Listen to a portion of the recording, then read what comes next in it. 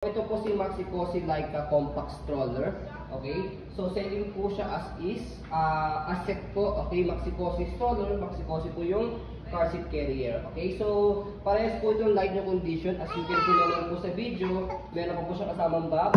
Okay? May kasama din pong raincoat. Okay? And then meron po po siya kasamang mosquito net sa stroller. Okay? So wala pong issue to parehas. Okay? Light na condition po siya. So ito po yung details po niya. So yung canopy, okay na okay po yung canopy po ito. Lapit po po na konti. Okay yung canopy niya. Hindi kita lang. So good for you, good po ito, nahihiga po ito. Ganyan po siya kapag ka nahihiga. Meron po ditong belt sa likod na pinapress para mahiga po siya. Ayan, okay. So yung pad niya, okay na okay din po ito, front handle, yung pad, 5 harness, safe po. Yan, 5 harness po, wala pong putol.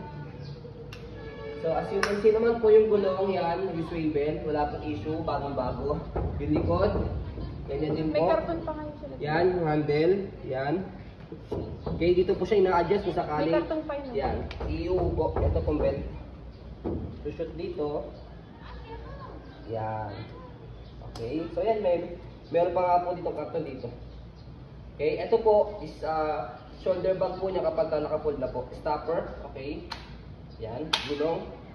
Okay. And then yung basket niya. Yan.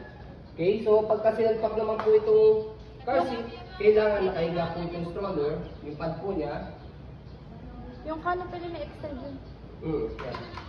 At meron siyang zipper dito sa gilid. Yung canopy niya. Yan. Okay. Na-extend po siya. Kung yun lang po ganyan, yung gusto niyo po normal lang po yung sizing niya. Okay? So yung carrier car po niya, isang pack po yan, matalikod. Okay? So bago nyo lagay yung car seat, tanggalin niyo po muna po itong front handle. May click pong button dito. Left and right. Hindi Okay? yun nagamit eh. So yan, carrier. So yan, ganyan po siya kapag ka nakaset. Okay? Hindi kita. Hindi kita. So yan, wala po kayong magiging problema dito pag ginamit nyo po kasi light condition siya, wala po issue.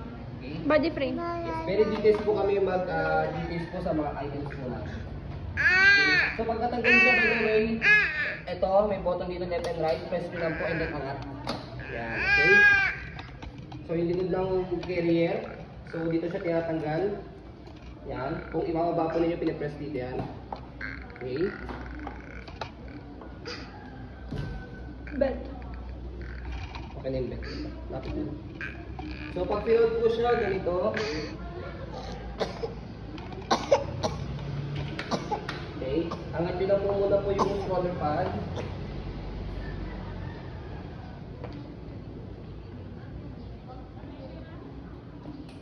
Okay. And then yung canopy fold nyo pong ganyan. I-press nyo lang po ito sa handle. Kulay gray. Tapos dito sa ilalim. Okay. Pag na-press nyo na po yan, kailangan paharap, kailangan mag-fold yung sa harap na yun, tapos fold siya pababa, and then yung handle po niya, front po dito, pag ganito. Okay? Pag naganyan na po siya, sa kanya po tiklopin na ganyan, meron po siyang lock sa gilid. Sa lock sa gilid. Kabila.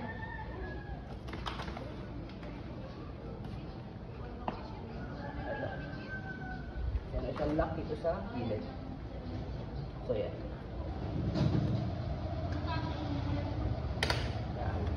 Okay? Ito pa yung niya sa gilid. So pwedeng kanya manabit, mer. Pwede yung ganito rin. Actually, dito talaga siya binibit-bit. Okay? Pwede ito sa shoulder. So yan. Ayan po siya. Okay, pag i-open po ninyo, one hand lang din po siya. So, iniingatan ko lang po para di magastasan. Tanggalin nyo na po yung lock sa gilid.